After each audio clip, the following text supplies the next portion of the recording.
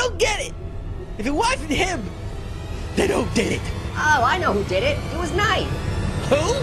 Knight. Whoa! Looks like she's got a split. Must run in the family. Ow! Kinda feels like deja vu.